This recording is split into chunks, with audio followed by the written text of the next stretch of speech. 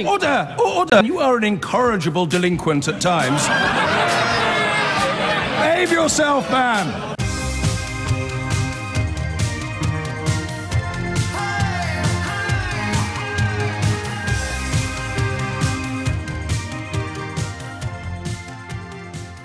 There's a deeply, deeply depressing article in one of the American newspapers yesterday. I can't remember which one, but I can remember the byline of the journalist um, for obvious reasons. It's called Matt O'Brien, Matthew O'Brien, writing about how when politics in any country, he was writing more about America, but I think it's happening here a bit, becomes so polarised. Everything's a fight, everything's a scrap, everything's a furious row.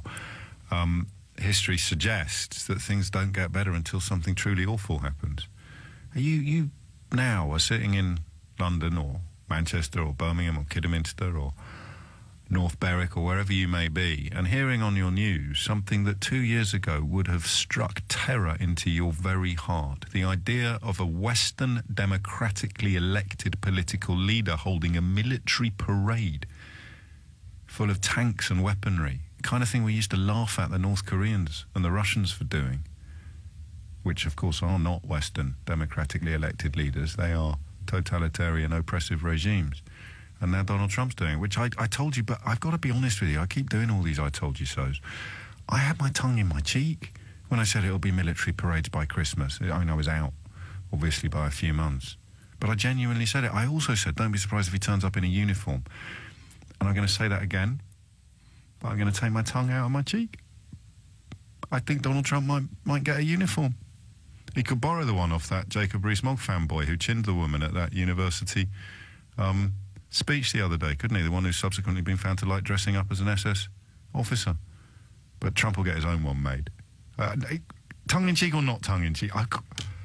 what do you... Because if I'd said military parade two years ago with tanks coming out Fifth Avenue and all that sort of thing, you'd have laughed at me, right? If I'd predicted this is what will happen next, I'd get over yourself. So if I say I would not be amazed if, if he gets a kind of Mugabe-esque uniform full of medals that don't really mean anything but look great, like Ceausescu. I mean, just look at the history of the same kind of politicians. I don't know. But we're going to talk about Tesco. It, it, not Ceausescu. It's six minutes after 11. You're listening to James O'Brien on LBC. And I, I, I don't know, there's a problem here because one of the lawyers involved in the case that we are about to discuss is quoted in the news as saying it is nuanced and complex. Now, normally that's an invitation to us to uh, to swim in the opposite direction to everybody and everybody in the British media who finds nuance and complexity. Um, they're almost allergic to it. Uh, however, on this one, it might be too nuanced and complex for our purposes because the equal pay claim that Tesco is facing is incredibly nuanced and complex when you look at it. I thought, when my attention was first drawn to this tale, that it was simply a case of women having discovered they were being paid considerably less than men for doing identical work. But it's not. It really isn't. What it's about is the discovery, if that's the right word to use, that people working in the shop were paid two or three quid an hour less than people working in the warehouse. Now, when you tot up the gender of those two workforces, there are many, many more men in the warehouse and women in the shop. But it's not exclusive. There is no evidence that men working in the shop were being paid more than women working in the shop. On the contrary, actually, as I understand it, the men who were doing the roles that have historically been predominantly carried out by women, this is the five C's historically caring, cleaning, clerical, cashiering, and catering, also tended to be underpaid. Okay, so it's not that they check the contents of your undercrackers and then decide how much you're going to get paid.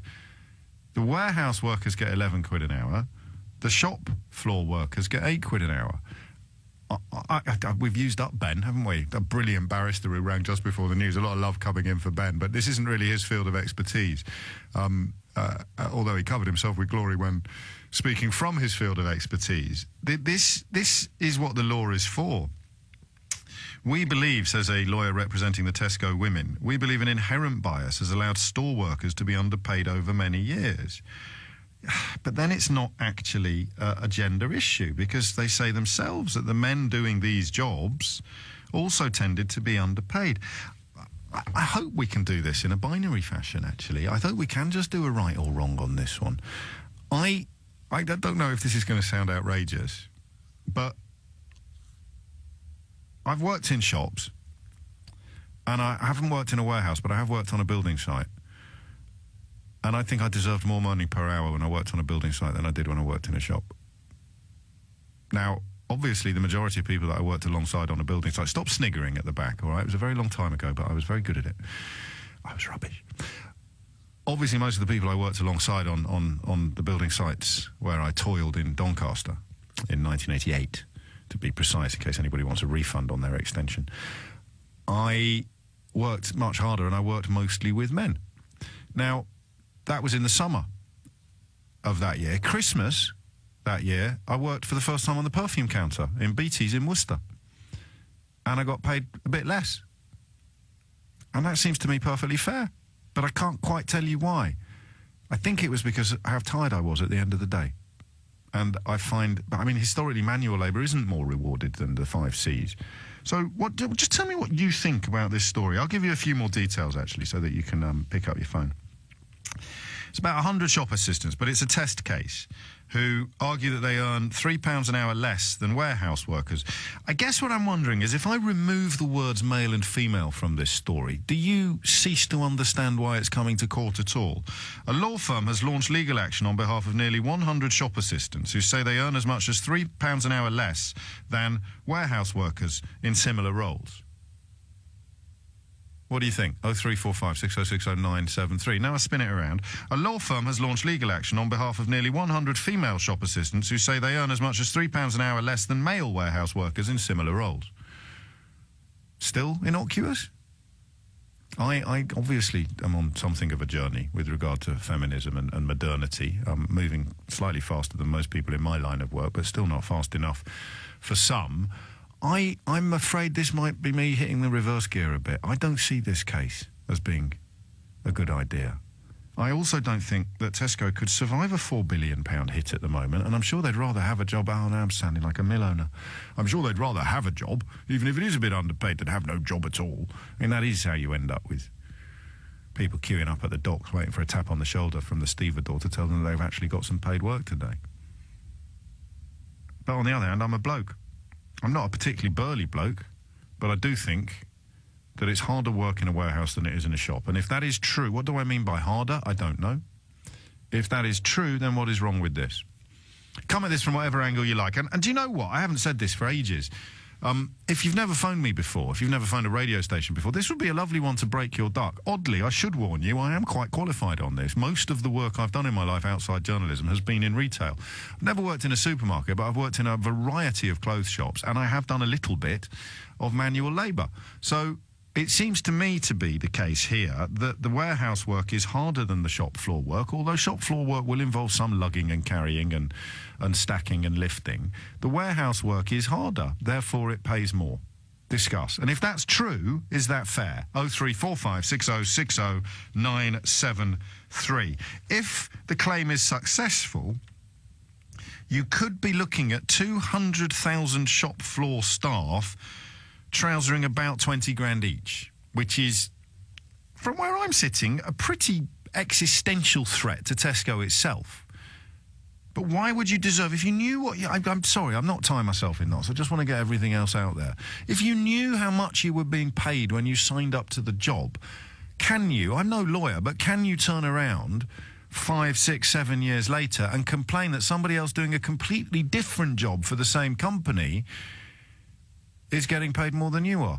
I'm going to call it, and I'm going to call it as crackers, all right? But I am, as ever, on this programme, open to correction. 0345 6060 973 is the number that you need. Look, if, if I was sitting here now in the canteen at Tesco, chatting to Doris, who is on the tills, and comparing our pay slips, and it turned out I was getting 11 quid an hour to do exactly the same job as Doris, who was getting 8 quid an hour, then I could see why the lawyers might get involved. Even if Doris knew how much she was being paid when she signed up for the job, she didn't know that I was getting three quid an hour more. But if I'm working in the warehouse and getting paid more than Doris, and then when Doris compares her pay packet to the bloke sitting next to her in the canteen who does the same job as Doris, and it turns out to be the same, where's the discrimination? I, I, I hesitate always on legal issues to uh, uh, uh, stick my oar in, but I, I can't see this one succeeding. I, I can't see quite how for all the complexity and the nuance described by the lawyer, I can't see quite how um, this can go any other way. But we'll find out what you think imminently. 0345 6060973. Before that, I don't know if you heard my alarm go off earlier. I, I, I, I've got to be a little bit more professional about these matters, but I set it when I have to remind myself to say hello to people who, who've been particularly charming when I meet them going about my daily business. So um, today I am going to say hello to Amir down at the Lyric Theatre in Hammersmith, where I popped in yesterday, um, and and Lucy as well. But Amir in particular, it was almost like he was rolling out the red carpet. It was a beautiful uh, outfit the Lyric Theatre in Hammersmith. So I promised I'd say hello, Amir, and now I have. It's on Channel 4 on Sunday, the first Brit, Secrets of the 10,000 Year Old Man. And the director of the documentary says um, that he hopes it will inform modern discussions about race and even Brexit. Good luck with that, mate. Um, you go back quite far and discover that everything's in flux, everything changes. That's the message of the film. Um, I've already had one response from somebody who presumably feels rather differently to me about both race and Brexit, claiming it's only 10%, only 10% of modern Britons come from this uh, this black hunter gatherer bloke, so don't read too much into it. What do you think I'm reading into it? I'm reading into it that we're all the same under the bonnet. The belief that we're not is what holds us back. But that's not what we're talking about now. We're talking about Tesco's. Ed's in Hackney. Ed, what have you got? Oh, hi, James. Um, so, you know, as you do, you know, while I was studying, um, I did um, work at Tesco's and Iceland as you're well. Not, you're not going to get a Ray Liotta for this. You do know that, and I did, um, I did both, you know, um, uh, shop floor and the warehouse. Um, yes. And actually, the warehouse is a lot more tougher than being on the shop floor.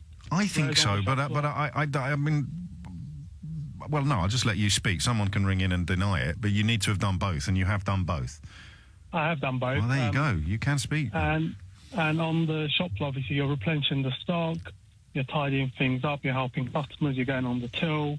Um, but whereas when you're going to the warehouse, you're lifting heavy loads, you're taking orders, you're actually a lot of the times um, you're also going to the freezers, which are really cold to take. The, the freezers are really what, Ed?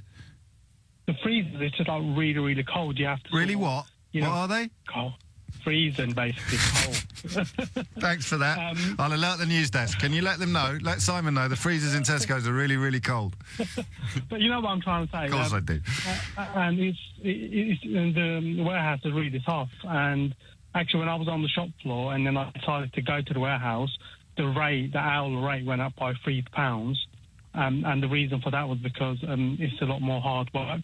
And the guys who do work in the warehouse actually, they don't do the normal hours that the shop floor staff would do. They'd normally come in at something like four or five in the morning to actually. Uh, well, I, I am. I am going to conduct this hour in a slightly uh, irresponsible because it's it's it's not as serious, obviously, as the conversations we were having in the last hour. So I'm going to conduct yeah. this in a slightly more um, simplistic fashion, and I am going to say one 0 to the warehouse workers.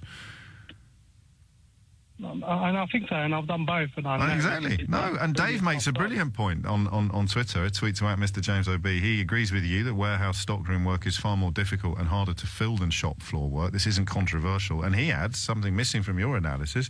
If the shop workers want more money, they could always ask to be moved to the warehouse. And that's true, and it does. Uh, you know, um, they don't get paid. You know, two, three pounds extra for no reason. Um, it is because you know they get dirty they're lifting stuff up, they're moving things, they're going into the freezer and all sorts of things. And they're also bringing things out to the shop floor. And being on the shop floor, I've done it at both Tesco. No, you said. I, I think I'm with you. I think. I think. Well, one 0 to the warehouse workers. Then, 22 minutes after 11, there is of course plenty of room for the uh, shop shop floor workers to equalise, possibly even pull ahead. Although uh, probably not as far ahead as Swansea managed last night against Notts County. Dave's in Deptford. Dave, what have you got? Uh, hopefully, this will throw something into the mix as well. My opinion um, perhaps mirrors your last caller, and that yes. is, I think the warehouse workers do deserve more pay. And, have you done either job, Dave? I, I, actually have worked in a warehouse. I haven't worked on a shop, but I've worked in an office as well. Right. Um, but from my perspective, a warehouse worker I classify as warehouse and industrial, and the accidents that occur in those environments are far greater than you'd find on a shop floor, and they're, therefore they're in a much riskier part of the business or a riskier job than, than someone working on a shop floor. I appreciate people can slip over on a on a wet or greasy floor um, in a supermarket, but quite honestly, when you're stacking pallets and um, and heavy materials and something perhaps may fall on you, um, there's greater chance of, of, of being injured. And I think from that perspective, it's it's a no-brainer for me. It's also, I mean, we're not talking about the Salvation Army, are we, or CAFOD? We're talking about a company that, until very recently, had a reputation for rapaciously maximising profits at the cost of pretty much everything. This is why we ended up eating horses. So they wouldn't pay more to their warehouse workers unless they felt they have to. These companies pay as little as they can reasonably get away with. And, and this would suggest that they can't fill the jobs in the warehouse unless they pay 11 quid, and they can comfortably fill all the jobs in the shop by paying 8 quid. I don't want this to go unanimous, Dave. It's always boring when things go unanimous. It's 2 0 to the warehouse workers.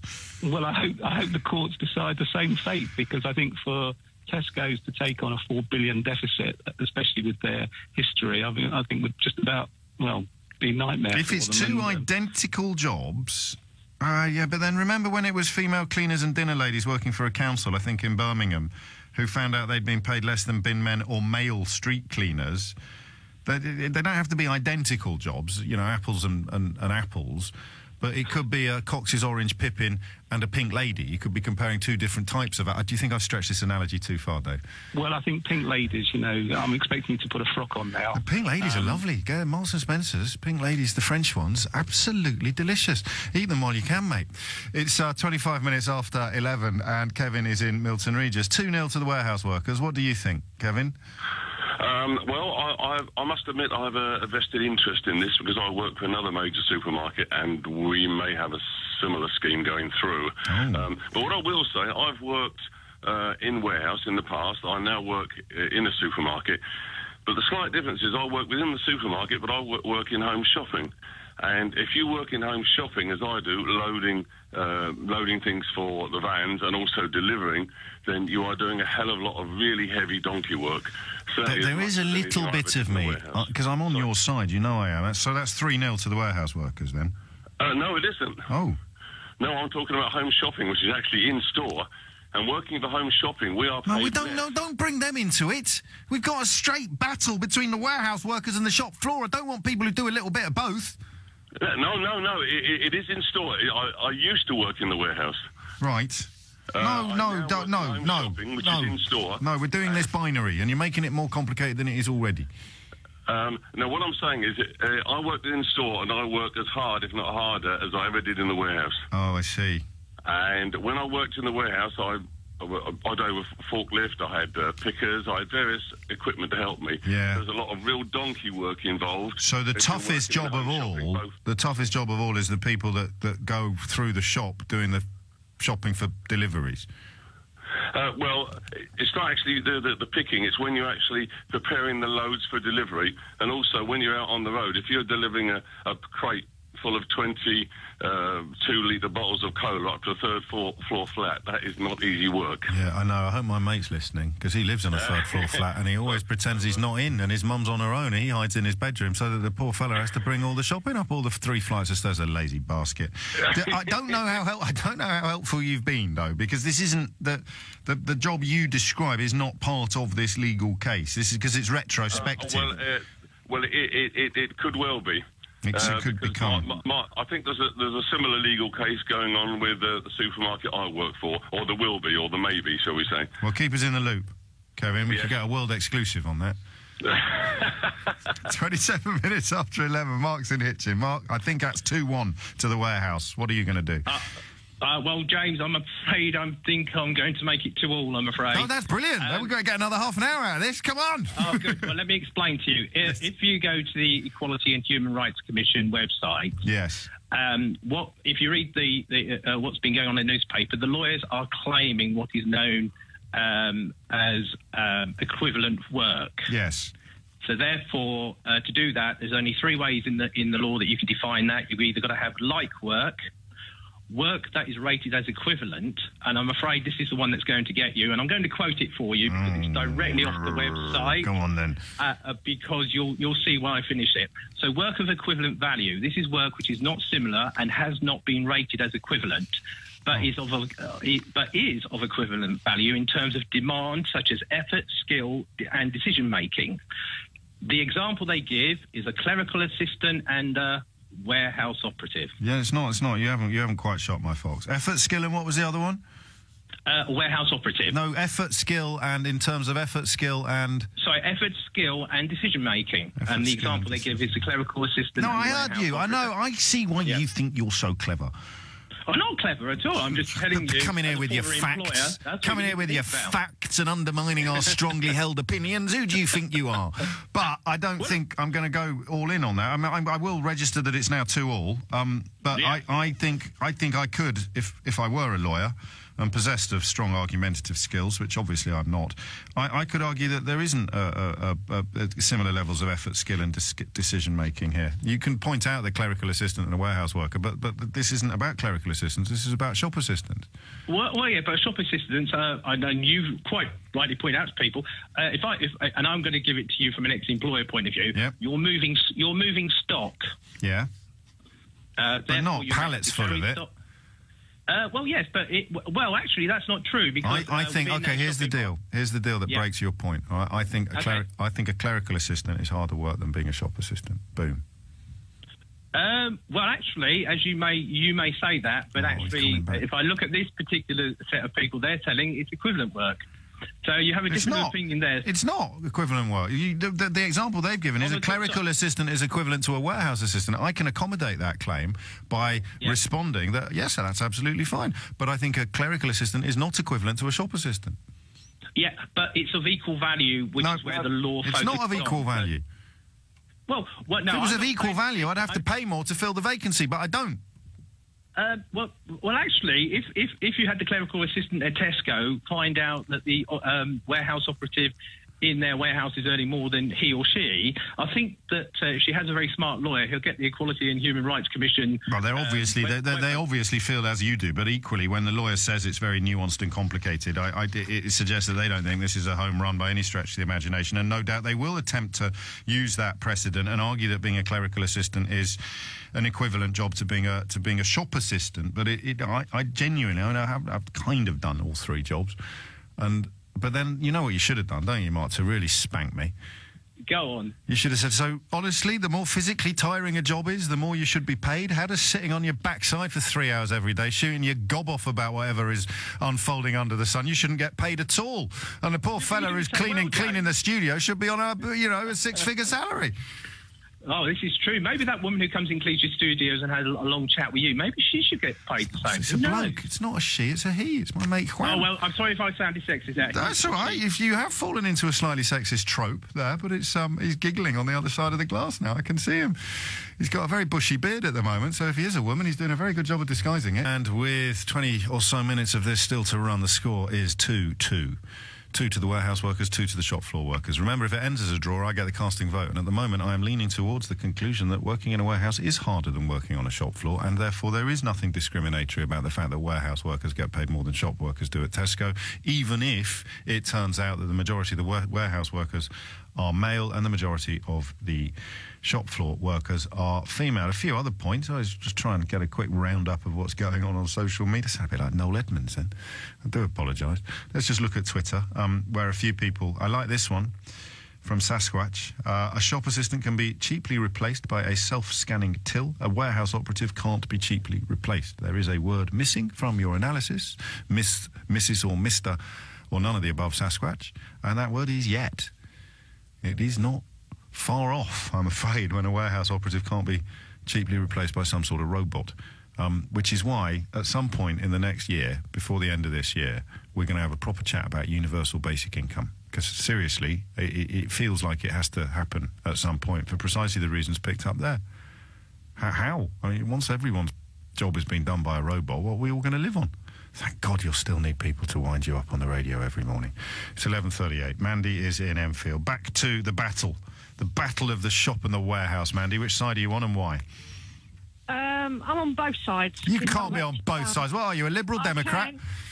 No, no, no, no, no, no. I've done warehouse work in a warehouse that's for car parts, and it's heavy car parts. Right. You've got gasket heads. You know, you've got big bulky stuff, bonnets, Big bumpers, ends? Any big ends? flywheels.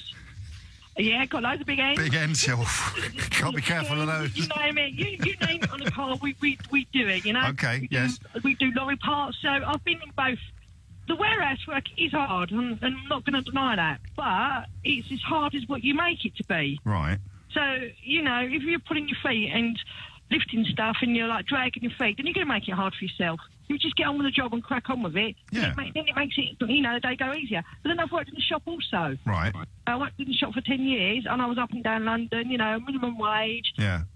Train fares costing a fortune. Yeah. So I had to leave because I couldn't afford to travel up and down Kensington. But I got attacked twice in the shop by a customer. Really? And I was on minimum wage. Yeah.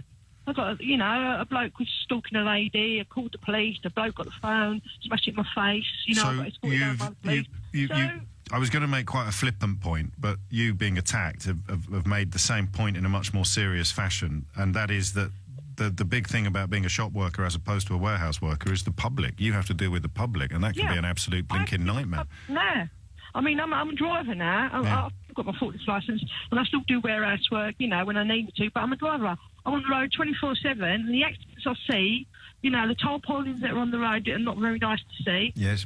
Uh, it's not. It's, it's, it's horrible. I mean, don't wrong. I love my job. I love my job. But every job has swings and roundabouts, is what you're telling Yeah, us. exactly. And if, if, you make it hard, it's going to be hard. If you make it easy, then that's No, I get. I get that as well. I mean, I, the, the day when I was in a shop, if you were busy, uh, the day was half as long as it was if no customers came in. Because uh, being busy is always um, uh, always makes the clock seem to tick faster, doesn't it? Yes, of course it does, yeah. But then you make yourself busy in the shop. You tidy the rails, you pick the hangers up, you clean the changing rooms, you clean the mirrors, you go into the storeroom, you, you sort out your stock. So you make yourself busy. The problem is this, Mandy. All right, here's the problem. You've got to pick a side. Um, driving. Hey, I've gone That's driving. that's not that. It's, it's warehouse versus shop. You can't have a driving. Oh no, no, no! I'm putting driving in because You can't put dangerous job and driving. You can't doing just ring I it. You can, can't. This is an important legal matter, can. Mandy. You can't just throw in flipping red herrings willy nilly. Um, Shops or warehouse? What's hot? Who deserves it? What? shop. Oh my lord! That was two 0 down to three two up. Yeah, shop. All right. So, all right, that's fine. The shop workers don't necessarily deserve more, but they certainly deserve the same as the warehouse workers.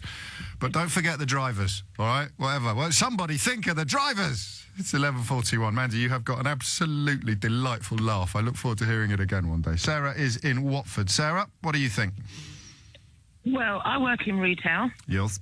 and I have uh, about a dozen ladies working for me. Hmm. And there's about four warehouses in our store.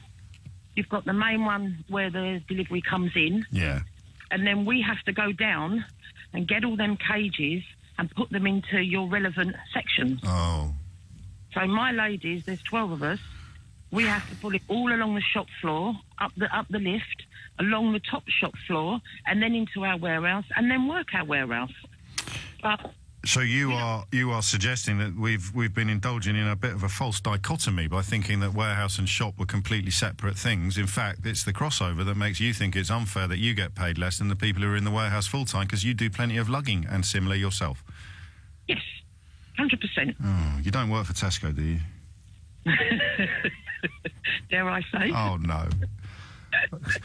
I think we, is this a Ray Liotta? No, we can't have a Ray Liotta on someone who works in Tesco. It's not like having been to the m- m- moon, is it? And there's lots of how many people work for Tesco, but you are smack in the middle of this story. And when normally, if you're smack in the middle of the story, you get a Ray Liotta. Well, I deserve a raise Yotta then. Come on then. I'm Ray Liotta, and you're listening to James O'Brien on LBC. If you build it, they will come. And here she is. So, how is? I mean, what's the feeling on that amongst your ladies then? I mean, are you aware of that? You were aware of this case, and, and you're presumably crossing your fingers it comes off because you could all be twenty quid, twenty grand to the good. Well, no, they're, they're all, we was all discussing it yesterday and last week, and Yeah. what they're saying that if, if it does come off, then we work in the warehouse just as much as the shop floor. But uh, you're you're you're on paper you're a shop worker. Uh, some of them aren't. No, some of them are in the warehouse, but they don't just work the warehouse because they have days off. And, you and do other things. round. Yeah, you have to do everything. The people that are full time in the warehouse on eleven quid an hour, the people who are full time in the shop on eight quid an hour, fair or unfair? Unfair. Because you think the shop work is as hard as the warehouse work, and often it crosses over anyway. Hundred percent, yeah. And it crosses. But if you wanted to get paid more, you could just transfer to the warehouse.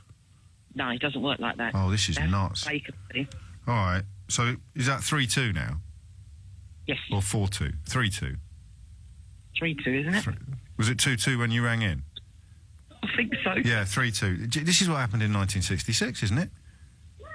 I don't know. 2 0 two nil down, 3 2 up, West Germany, England. No, 1970. 1970. The other way around. Oh, right, well, you've done it, and you got a Ray Liotta. I tell you what, if someone had told me we were going to get a Ray Liotta on a conversation about Tesco staff, 4 4 2. God, this is just turning into a right old amateur hour. This it's four two, Sarah. What are you doing telling me it's three two?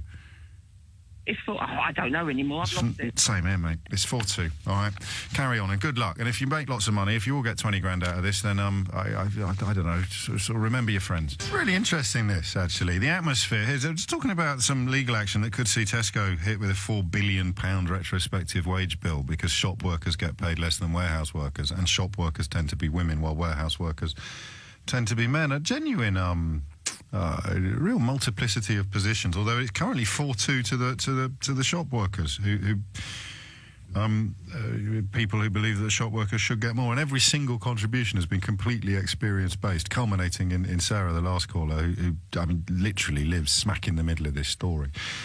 The atmosphere, says this contributor, is more relaxed in a warehouse because you don't have to deal with the general public. You can have more fun with your colleagues. Shop floor requires restraint and politeness, customer service skills, etc.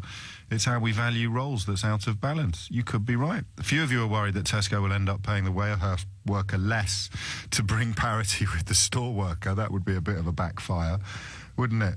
Um, and I agree with that bottom point about the atmosphere being easier in the warehouse. Because how many times have I told you what I was doing when news of Margaret Thatcher's resignation as Prime Minister reached Worcester? That's right. I was fast asleep in an igloo made out of shoeboxes in the stockroom at River Island on Worcester High Street, sleeping off a hangover when my mate Dave came in to tell me the news because he knew I'd done an A level in politics. I could not have got away with having a snooze in a igloo made out of shoeboxes in the middle of the shop floor of River Island in Worcester. So there is a more relaxed atmosphere in the warehouse, but equally, um, we didn't really have lots of forklift trucks and heavy machinery. You don't really run the risk of getting killed in a shop in quite the same way that you do in a warehouse. 4 2. It's all to play for at 10 to 12. Mark's in Banbury. Mark, what do you think? Good morning, James. Um, well, I've got a, a different view on it. I started in favour of the warehouse, and I think I've talked myself into the favour of the shop floor workers. Oh, go on. Um, I used to be a manager in Tesco's on the night shift. Yeah. And, uh, well, essentially, uh, we would be under pressure to get the store right. So if a delivery came in, I would drag everyone off the shop floor to come and help drag, drag in this delivery. And similarly, if the shop floor wasn't right, I would take everyone out the warehouse and get them stocking shelves. So it's, it's So hang on, why were you on the side of the? wa- I, I'm a bit confused as, as not to where you where you've ended up, but where you started out. Why were you on the side of the warehouse workers at the beginning? Because you forgot what it was like to be a Tesco manager. Well, I, I mean, to be honest, as the manager, you're you're doing the warehouse job a lot more. You're dragging in all the deliveries. You're always out the back managing the stock, and I and that sticks in my mind as that's really hard work. For everything that from everything the previous callers have said, it is hard work. It is dangerous, but at the same But time, I, I, I don't know if you and Sarah are queering the pitch a bit because it's it's it's it's, it's been presented at least by the lawyers representing the Tesco women as a as a, as a binary issue between store workers and warehouse workers. But you're suggesting that that's a blurred line anyway. This isn't actually part, as far as I can tell, of any of the rationales or justifications offered up for the legal action at this point. No one's saying, but I spend a lot of time in. They're claiming there is manual work involved in the job, but that it's not. You're not in the warehouse. For, here you go. No, Pam Jenkins, 57, 26 years at Tesco. She worked in Baldock in Hertfordshire. That wasn't yours, was it, Mark? No. Oh, that would have been a small world award, wouldn't it? She gets eight pound an hour. Um, she lost out when the premium pay rates for Sunday shifts were reduced recently, and she says Yeah. she's got to collect stock from the warehouse, she's got to stock the shelves, and she's got to deal with the customers. Um, and that doesn't sound like equal pay, does it? Absolutely not. No, I mean, I mean, it is a very blurred line. I mean, you can have a job title as a warehouse worker and 100% be out on the shop floor all day talking to customers. It's not discrimination though, because it's just a historical coincidence, isn't it? That the that the shop worker is more likely to be a woman and the warehouse worker is more likely to be a man. I mean, there's not there's no entry No, I- criteria. I would say, I would say, yeah, coincidence, and and I would happily bring in, or well, the the female shop assistants, and we would all be dragging cages of stock through the warehouse. So it wasn't like ever a case of. Uh, What were those idiots thinking of earlier who were on the side of the warehouse workers then? That early 2 0 lead. What a bunch of muppets. Can't quite believe it. Takes all sorts. That's 5 2 then. uh, I, I think so. 5 2 to the shop. So this is going to go. Oh, crikey. I mean, it'll be a class action, this, or whatever the British equivalent is. I can never remember. So the lawyers will be on a percentage of whatever the final take is. You might want to. Might want to buy into that if you can. Buy shares in this legal case. Looks like they're going to win it. Just entirely on the basis of the anecdotal evidence we've been hearing on this programme. Steve's in Brent. Steve, what do you think? Hello, James. All right, mate? All good, mate. What's on your mind? So I've done myself a little bit of retail, a little bit of warehouse work as well. Yes. And I've got. You are a man of many talents, Steve. Oh, indeed, indeed, James. Just ask the missus. uh, I, I uh, actually think both jobs have their own challenges and their own unique uh, facets to them. Um, I've got to say though, personally, in the warehouse, I found myself reflecting a lot more on the day. I was on my own time. The stock doesn't talk back like a customer does. Mm. But that's a good and a bad, isn't it? Oh, indeed, of course, yes. But I do think generally women are probably better at dealing with customers on the shop floor. Uh, and, you know, men, maybe they get that alone time just to, you know, pent back the anger and, you know, just have a little think. Yeah. Have a little uh, mooch with the stock. It, it can be quite therapeutic, Hey, you know. but mate, you uh, are talking to a man who spent a significant part of 1990 asleep in an igloo made out of shoeboxes in the stockroom at River Island Clothing. So I do know the therapeutic nature of a stockroom or a warehouse, or the bit where you're not observed and you kind of have a task to do. It's different in Tesco probably because the logistics will be a lot more closely monitored. But you've just got to shift X amount of gumph from A to B, and, and you just get on with it, don't you? You don't have that constant risk of you don't know what your day is going to involve in the shop. it. You could be in the middle of cleaning up some ketchup, and someone comes along and asks you for directions to the mustard aisle. That's it. That's the one. Or you could get know, a, you it's, could uh, get a live one, as we used to say. You could get a real live one who, who you know you're going to spend an hour with and not sell any. Well, that's different in menswear, but you, you're going to spend an awful lot of time with someone, and it's going to be an utterly thankless experience. That's it. That's exactly it. And it, it's like cleaning houses. You know, you see a dirty house, you go inside, you give it a clean, you get that sense of satisfaction by the end. You go home, you make yourself a nice dinner, and that's a good day's work. Yes. Whereas you, you know, you could bring home the problems of you, that a customer's given you, a bit of grief that they've given you. You could bring that into to the house with you, and that's not what you want. It's a So- very good point. Emma sent me, a, I mean, a particularly grim story about a woman who was at work in a supermarket when she was attacked and, and, and murdered in front of shoppers. So you do have that risk of, of customer It's facing. not ideal, is it? It's not ideal, mate. No, but Sarah got attacked. I mean, you know, there's there's, oh, there's some grim stuff unfolding. So you are you are saying yes, it, should they should be paid the same. I think. I think so, James. Yeah. Oh, mate, this is a spanking that I did not see coming. Six two. There you go. There you go. Steve doing a very good job there of containing his excitement. David is in Hammersmith. David, what would you like to say? Um, well, I, the the one thing that people seem to be forgetting in this whole argument Yeah. is that the warehouse is actually the the engine room of any business. I I run a Christmas decoration business, obviously seasonally, Yes. um, but um, I also I work in both the shop. I run shops and I also run the warehouse. And without the warehouse working properly, nor would the shops. If the shops don't work properly, they don't take any money. Nobody gets paid. Uh, so essentially, the warehouse is of a bit more importance. I don't think the the pay difference should be as, as much as it is, with it being three pounds, maybe one one fifty. But the, the, I think there sh- the, the the warehouse is just a little bit more important. And we maybe need to clarify between the, the, the kind of off-site warehouses, the distribution centres, if you will, and the warehouses that are attached to the shops? Because it seems to me that the warehouses. A warehouse is attached to a shop is essentially a storeroom. Yes, exactly. The warehouse that is actually outside where people have to bring the stuff in is a warehouse. Yeah. It's a very big building generally, depending obviously the size of your business. Clearly. What do you do the rest of the year then, if you're in the Christmas decorations Uh, I, business? I, I do, do delivery work for a French food company. Blimey. I, I think you're coming down on the side of the warehouse then. I, I know you've said it shouldn't be a, as big a gap, but that's supply and demand, isn't it? That's uh, that's what you've got to pay to get the bodies. Yeah, it, it may be the case that that is why they have to pay as much as they do in the, in the difference. But I personally, being that I've worked in both um, and having heard all the arguments that everybody else has put up, I don't think the difference should be as much as it is. But I do think the warehouse should be considered to be the more important part of the business because, as I Six say, three. without it working properly, it will not. None of the rest of the business will work properly. That's 6 3. Um, Dave, thank you, David. And finally, I think on this one, glancing at the clock, Andy's in Hertford. You're going to have to score a hat trick in one phone call. I don't think that's physically or mentally possible. I'll give it a go. It's on be at least six four. Uh, one thing that hasn't been discussed is market value. Yes. If Tesco's can show that warehouse staff across the industry get paid eleven pounds an hour, um, and that that people are hired on the basis that they're warehouse staff, not shop assistants, Yes. then I don't think the case will stand. Well, you've got the Equality and Human Rights Commission talking about work of equal value. Well, that's to the well. If if, if it can be shown that the, the work across the industry and the warehouse staff are paid generally around that, Tesco can justifiably say that they advertise at that rate to attract good quality staff. Um, so, you know, Six four. the other thing is actually a non sequitur. Yeah, 6 4, isn't it? I can't give you more than one goal. So, yeah. Right, so it's, it's only really 6 4, but I would say that if there is extra time, which there isn't, then it could have ended up all square.